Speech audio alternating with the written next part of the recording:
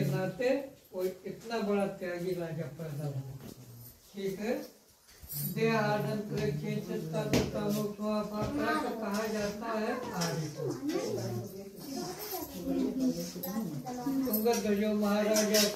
को के चाचा का पता नहीं। चाचा का नहीं मालूम? मुझे बड़े चाचा का बड़े चाचा का